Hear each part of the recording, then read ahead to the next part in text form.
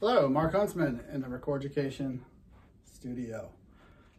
Bringing you a quick video today on error codes and general troubleshooting. I know you guys don't read instruction manuals.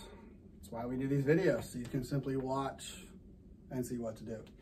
However, there is some things that you do need to look for. And in every installation manual that we have, you're gonna see this form. And it is error codes or alarm codes and recommendations. So for every error code that you may see, you're gonna have a form that tells you what that error code is, what it does, and what to do to fix it. So one of the most common error codes you're gonna see is an error code 52. Okay? You look on the form, error code 52 tells us that it's gonna display no running parameter. Okay? And then it tells us that to fix that, door must be calibrated, perform a teach and run. And so if I come up here and I give you that 52,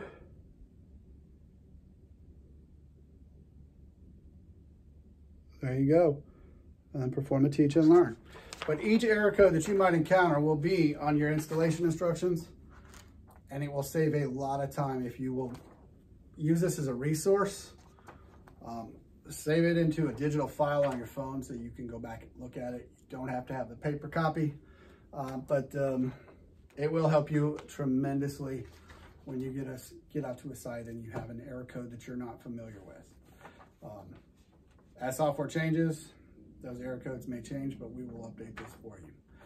Um, hope this helps. A lot of pertinent information right here that you can utilize. Uh, we do appreciate what you're doing out there in the field, and we understand it's not the easiest job. So we do appreciate it. Thank you for partnering with us, and uh, we hope that you have a great day. Thanks, everyone.